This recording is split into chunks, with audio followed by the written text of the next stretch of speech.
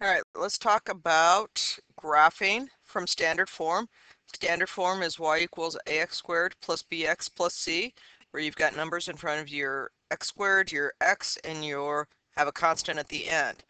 You, b or c could be zero, and then that just means that you don't have either the linear term or the constant term. So when you're doing this, you're always going to start off with your axis of symmetry which is x equals negative b over 2a.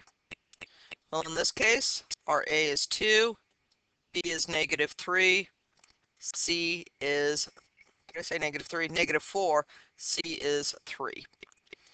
So negative b is going to be negative negative 4, which is positive 4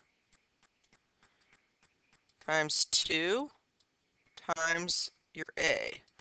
Well, and that just comes up to be 1. So my axis of symmetry is x equals 1. And I'm going to go ahead and I'm going to sketch that right now. So that means that that is the center of my parabola. Now I want to go ahead and find the vertex. Well, I already know the x-coordinate of the vertex because it has to lie on the line of symmetry. I need to know y, so I'm going to put y equals, and then I just take that 1 and I plug it in.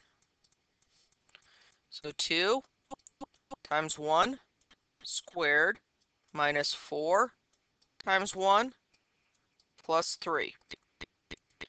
It's going to give me 2 minus 4 plus 3 which is going to be 1. So my vertex is 1, 1. Put a dot at 1, 1. Well, my easiest thing here now is to find my y-intercept. My y-intercept is c. Well, in this case, c is 3. So my y-intercept is 0, 3. I'm going to go ahead and put a dot at 0, 3.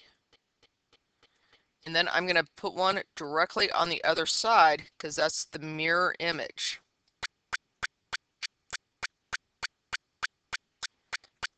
And then my parabola is now graphed.